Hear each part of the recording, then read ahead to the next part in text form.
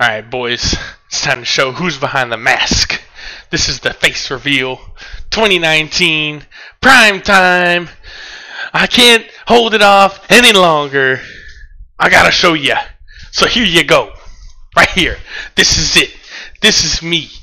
I'm just kidding. This isn't me. This this isn't who I was meant to be. This this is too much. This is this is almost an atrocity to even say that this is too much, but it is. I gotta say, this is the real me. This is the real me. Look at me. Oh, baby. Thanks for coming. See my face reveal. We'll see you next time. Bye bye.